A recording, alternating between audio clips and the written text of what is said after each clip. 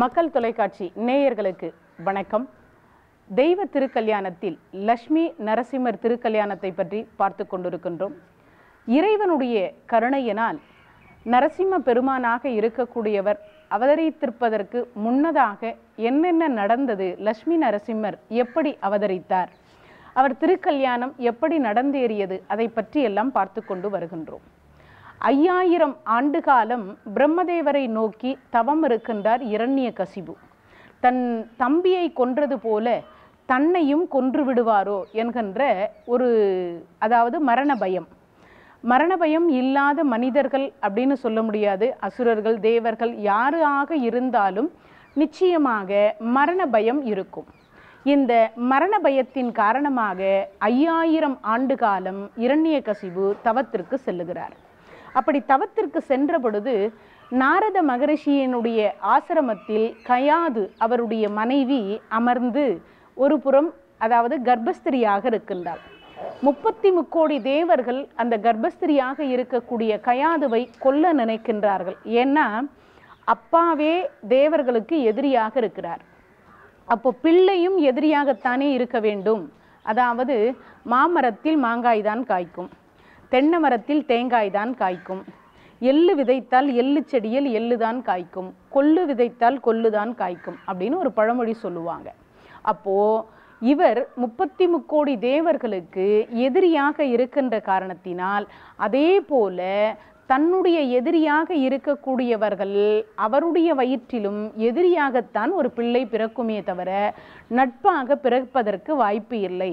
இல்லை பக்தனாக பிறப்பதற்கு வாய்ப்பு இல்லை அப்படிங்கிற ஒரே காரணத்தினால இந்த முப்பத்தி முக்கோடி தேவர்களாக இருக்கக்கூடியவர்கள் கயாதுவை கொல்ல நினைக்கின்ற பொழுது தடுத்து நாரத மகரிஷியாக இருக்கக்கூடியவர் தன்னுடைய ஆசிரமத்தில் கொண்டு போய் வைத்திருக்கின்றார். அப்படி தன்னுடைய ஆசிரமத்தில் கொண்டு போய் வைத்திருக்கின்ற பொழுது அந்த ஆசிரமத்தில்தான் நாரத மகரிஷியாக இருக்கக்கூடியவர் நாராயணனுடைய பெருமைகளை சொல்லுகிறார். அப்பா பாற்கடலை கடைந்து முப்பத்தி முக்கோடி தேவர்களாக இருக்கக்கூடியவர்கள் இன்றைய தினத்தில் உயிருடன் வாழ்வதற்கு வழி செய்த பெருமான் நாராயணர்.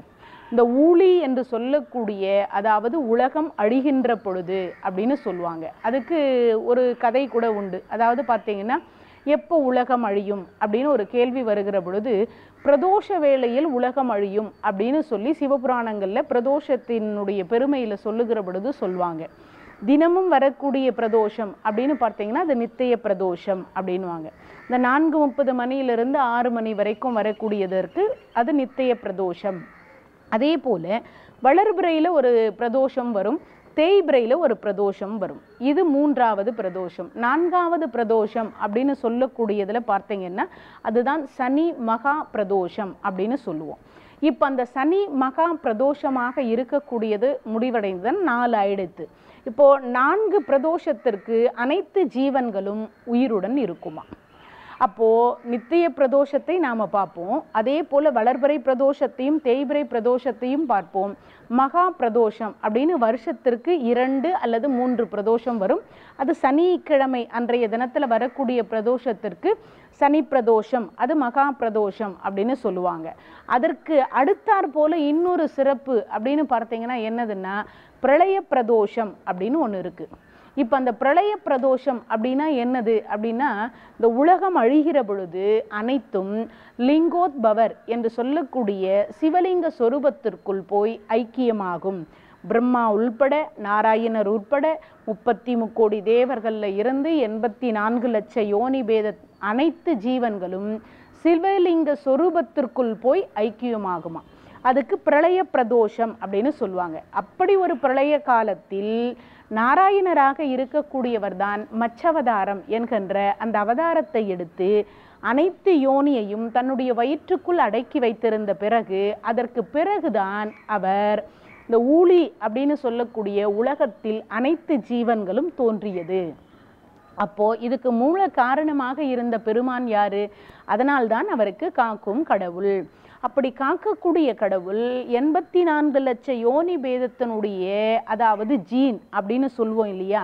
அந்த அணுக்களை கொண்டு போய் தன்னுடைய வயிற்றுக்குள் சேகரித்து வைத்திருந்து அதாவது மரம் செடி கொடிகளில் இருந்து அனைத்து ஜீவன்களையுமே தன்னுடைய வயிற்றுக்குள் வலித்து அதாவது வைத்திருந்து இந்த ஊழி என்று சொல்லக்கூடிய உலகம் அழிந்த பிறகு புதியதாக மீண்டும் ஒரு உலகத்தை படைத்து அந்த உலக ஜீவன்களை காப்பாற்றுவதற்கு காப்பாற்றக்கூடிய கடவுள். காக்கும் கடவுள் அப்படின்னு.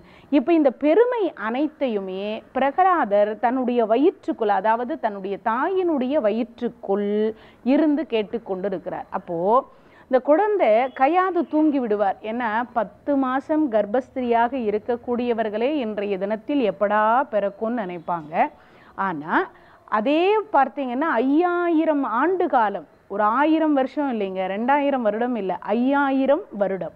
அப்ப ஐயாயிரம் வருடம் ஒரு தாய் தன்னுடைய மகனை கர்ப்பஸ்திரியாக அதுவும் நிறைமாத கர்ப்பிணி இன்றோ நாளையோ பிறக்க இருக்கக்கூடியது அப்படி இருக்கும் தருவாயில்தான் அந்த அம்மையார் ஐயாயிரம் வருஷம் கருவை சுமந்தாங்க.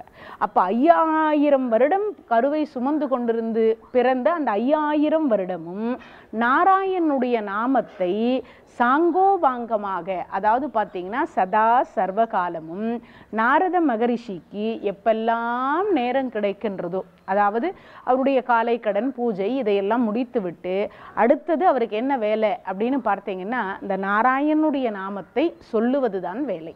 அப்போ நாரத மகரிஷியினுடைய ஆசிரமத்தில் இருந்த கயாதுவினுடைய வயிற்றில் இருக்கக்கூடிய இந்த பிரகலாதர் இருபத்தி நாலு மணி நேரமும் நாராயணனுடைய நாமத்தை கேட்டிருக்கிறார்.